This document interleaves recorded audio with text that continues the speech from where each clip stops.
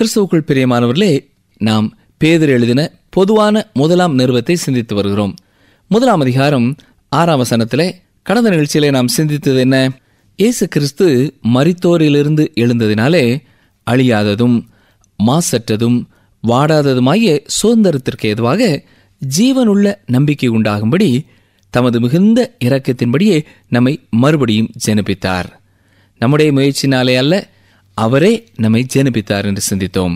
அது மட்டுமல்ல கடைசி காலத்திலே வெளிப்பட ஆயத்தமாக்கப்பட்டிருக்கிற ரட்சிப்புக்கு எதுவாக விசுவாசத்தை கொண்டு தேவனுடைய பலத்தினாலே நம்முடைய பலத்தினாலே அல்ல தேவாதி தேவனுடைய பலத்தினாலே காக்கப்பட்டிருக்கிற உங்களுக்கு அந்த சுதந்திரம் பரலோகத்திலே வைக்கப்பட்டிருக்கிறது என்று சிந்தித்தோம்.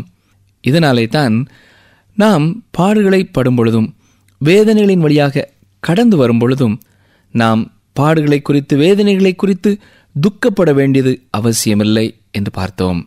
ஆதி கிறிஸ்தவர்கள் தங்கள் விசுவாசத்திற்காக துன்பப்படும் பொழுது அதனாலே மிகவும் சந்தோஷப்பட்டார்கள் என்றும் நாம் பார்க்கிறோம்.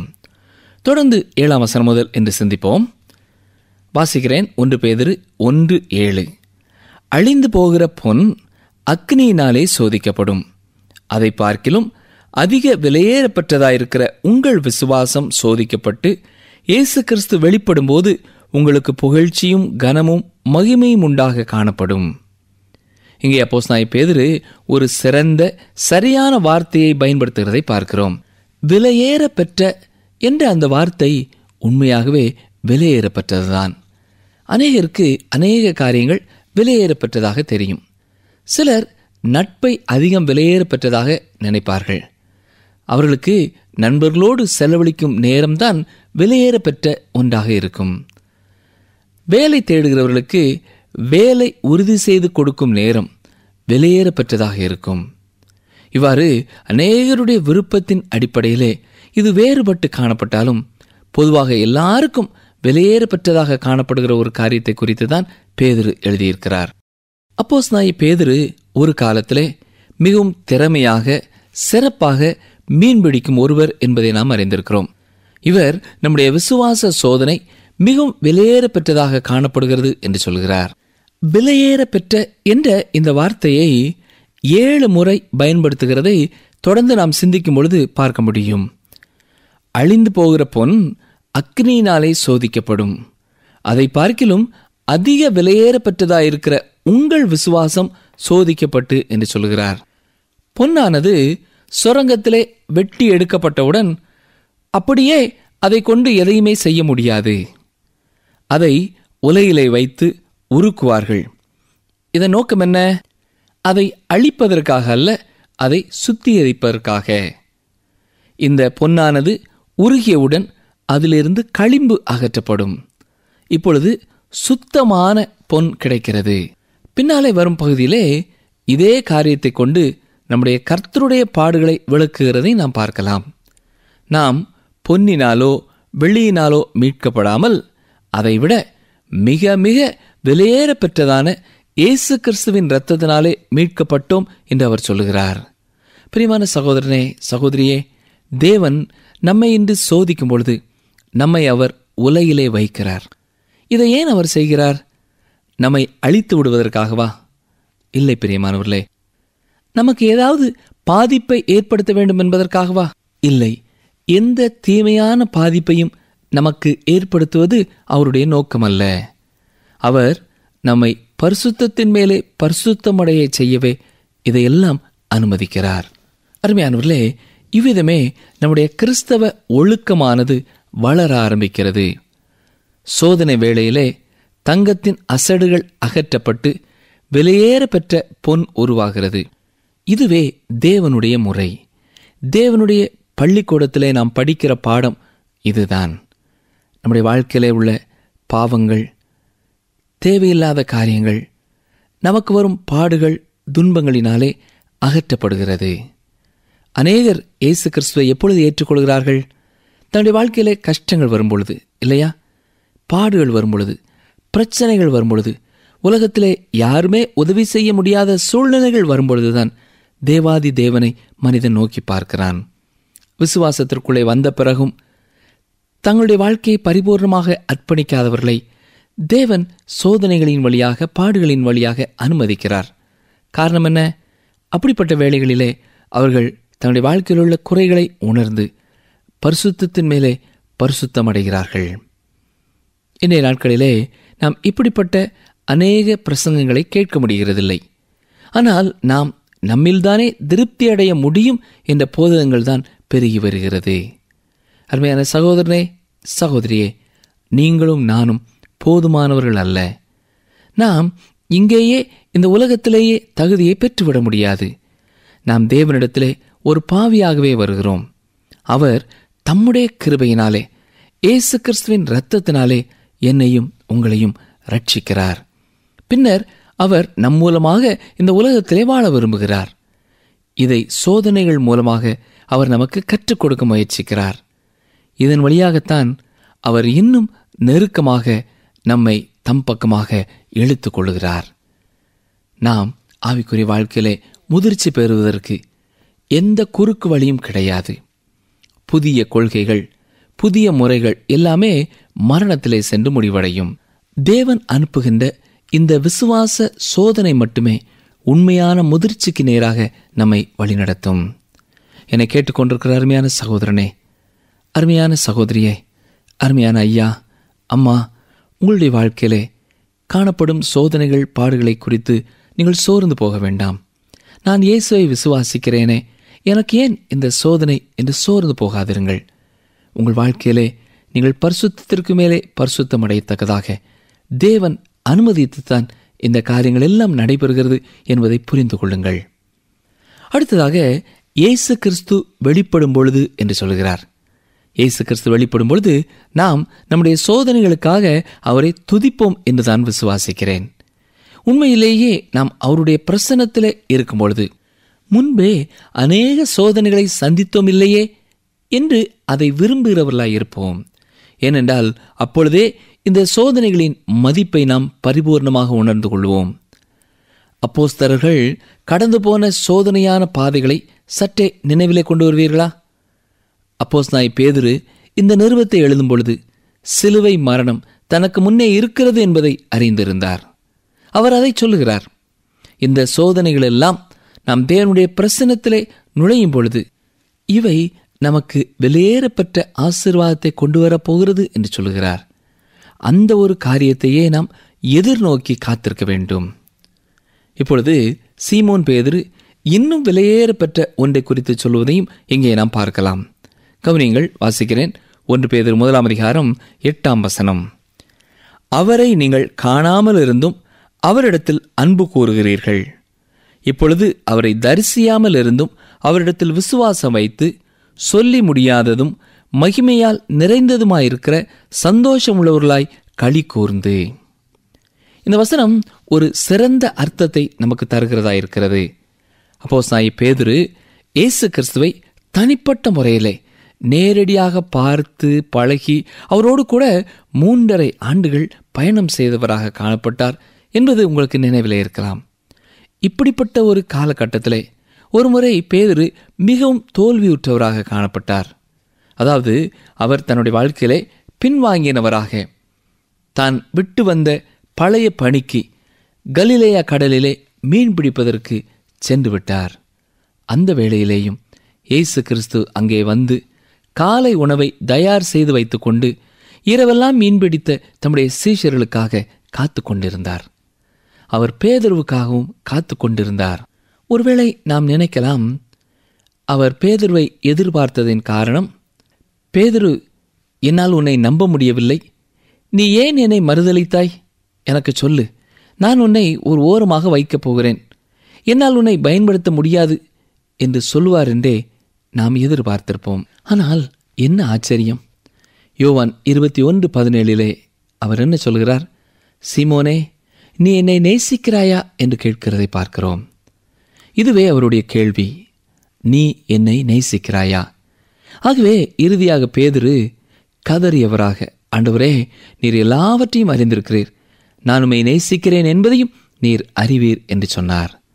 உடனே இயேசு அவரை பார்த்து என் ஆடுகளை மேய்ப்பாயாக என்று சொன்னார். இந்த பேதருதான் பெந்தே கோஸ்தே நாளிலே முதலாவது பிரசங்கத்தை செய்தார். அதே அப்போஸ்தலனாகிய பேதருதான் இன்று என்னையும் உங்களையும் பார்த்து அவரை நீங்கள் காணாமல் இருந்தும் அவரிடத்தில் அன்பு கூறுகிறீர்கள் என்று சொல்கிறார் ஆம் அருமையானவர்களே பரிசுத்த ஆவியானவரே எனக்கும் உங்களுக்கும் அவரை உண்மை உள்ளவராக்க வேண்டும். அவராலேயே முடியும். இதுதான் கிறிஸ்தவ வாழ்க்கையின் ரகசியம். நாம் அவரை நேசிக்கும் பொழுது மற்ற எல்லா பொருட்களும் பின்னால் தள்ளப்பட்டுவிடும். அதாவது இரண்டாவது இடத்திற்கு சென்றுவிடும். நீங்கள் அவரை நேசிக்கவில்லை என்றால் இந்த உலகத்தின் இன்பங்கள் இந்த உலகத்தின் பொருட்கள் உங்களுக்கு முதன்மையாக தெரியும். அருமையானவர்களே இந்த உலகத்தின் காரியங்கள் எதுவுமே உங்களுக்கு உதவ போவதில்லை. அவரும் உங்களை தன்னுடைய ஆடுகளை மேய்க்கும்படியான பெரிய பொறுப்பை தர முடியாது. அடுத்ததாக இப்பொழுது அவரை தரிசியாமலிருந்தும் அவரிடத்தில் விசுவாசம் வைத்து சொல்லி முடியாததும் மகிமையால் நிறைந்ததுமாயிருக்கிற சந்தோஷம் உள்ளவர்களாய் களி கூர்ந்து என்று சொல்கிறார். இதை வாசித்தவுடன் உங்கள் இருதயம் மிகவும் வேகமாக அடிக்கிறதா? உண்மையில் நீங்கள் அவரிலே அன்பாயிருக்கிறீர்களா? அல்லது அர்த்தமற்ற மறித்து போன ஒரு பக்தி உடையவர்களாக இருக்கிறீர்களா? சற்றே சிந்தித்து பாருங்கள். அருமையானவர்களே இயேசு கிறிஸ்து மிகவும் ஆச்சரியமானவர். சீமோன் பேதுரு அவரை நேசித்தார். அப்போஸ் நாய பவுல் அவரை நேசித்தார். மேலும் அவருக்காக முழு மனதோடு ஊழியம் செய்த யாவரும் அவரை நேசித்தார்கள். நீங்களும் இன்று அவரை நேசிக்கிறீர்கள் என்று நான் விசுவாசிக்கிறேன். அவ்வாறு செய்வீர்கள் என்றால் அது பலதரப்பட்ட பிரச்சனைகளிலிருந்து உங்களுக்கு விடுதலை தரும். இது கணவன் மனைவி உறவிலே உதவி செய்யும். அவர்களுடைய அன்பான உறவை அது கட்டி எழுப்பும். இது உங்கள் வீட்டிலே உதவுகிறது மட்டுமல்ல உங்கள் சபை காரியங்களிலேயும் உங்களுக்கு உதவி செய்யும். அன்பு கூறும் இயேசு விசுவாசிகளை ஒன்றாக இணைக்கிறார். நீங்கள் அவரிலே அன்பு கூறுவீர்கள் என்றால் உங்களுடைய எல்லா உறவுகளிலேயும் உங்கள் எல்லா நிலைகளிலேயும் அது உதவி செய்கிறதா இருக்கும் அடுத்ததாக சொல்லி முடியாததும் மகிமையால் நிறைந்ததுமாயிருக்கிற சந்தோஷமுள்ளவர்களாய் களி கூர்ந்து என்று வசனம் சொல்கிறது. அன்பான கிறிஸ்து உங்கள் உள்ளத்திலே ஒரு மகிழ்ச்சியை கொண்டு வருகிறவராய் இருக்கிறார். அருமையானவர்களே நீங்கள் உண்மையாகவே மகிழ்ச்சியோடு இருக்கிற ஒரு தேவனுடைய பிள்ளையா?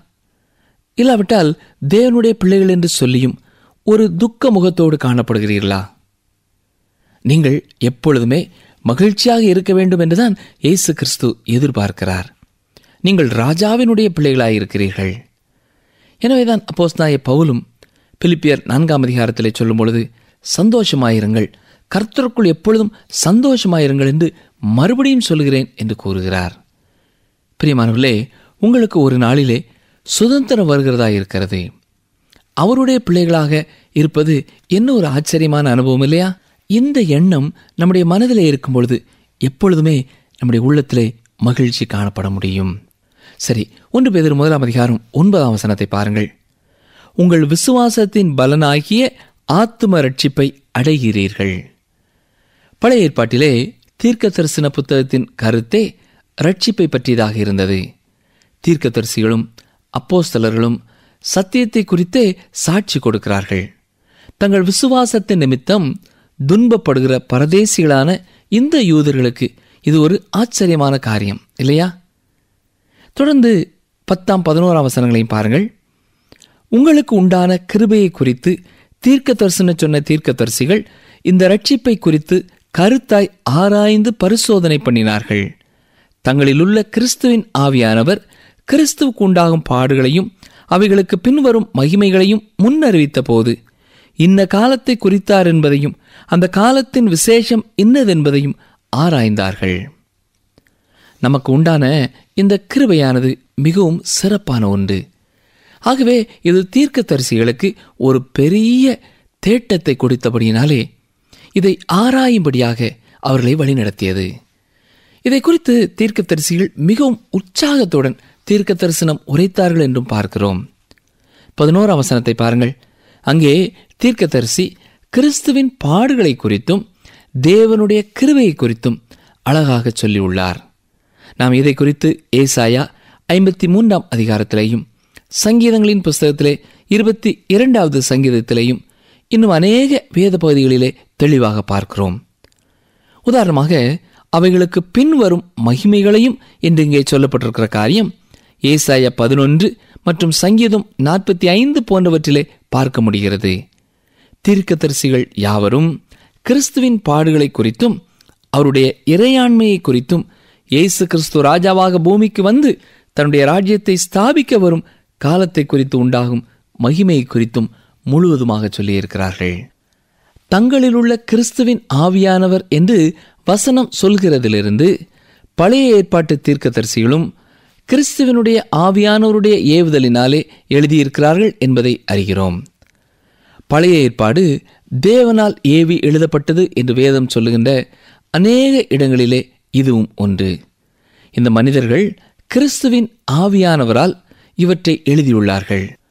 தங்களால் கிரகிக்க கூடாத ஒரு காரியத்தையே இந்த தீர்க்கதரிசிகள் எழுதியிருக்கிறார்கள். அவர்களுக்கு இதை பற்றி புரிந்து கொள்ள இயலவில்லை. ஆகவே இதன் அர்த்தத்தை அறிய விரும்பினார்கள். தங்களில் உள்ள கிறிஸ்துவின் ஆவியானவர் கிறிஸ்துவுக்கு உண்டாகும் பாடுகளையும் அவைகளுக்கு பின்வரும் மகிமையையும் முன் அறிவித்த பொழுது இந்த காலத்தை குறித்தார் என்பதையும் அந்த காலத்தின் விசேஷம் என்ன என்பதையும் ஆராய்ந்தார்கள் என்று பார்க்கிறோம். பழைய ஏற்பாட்டிலே இயேசு கிறிஸ்துவின் பாடுகளை குறித்த அநேக இடங்களிலே சொல்லப்பட்டிருக்கிறது. அதே போல கிறிஸ்துவின் இறையாண்மையை குறித்தும் அவருடைய ராஜ்ய காலத்தை பற்றியும் அநேக இடங்களிலே சொல்லப்பட்டுள்ளது. கிருபையும் மகிமையும் அங்கே இணைந்தே சொல்லப்படுவதால் அவர்களுக்கு அதை புரிந்து கொள்ள இயலவில்லை. அது கடினமாயிருந்தது.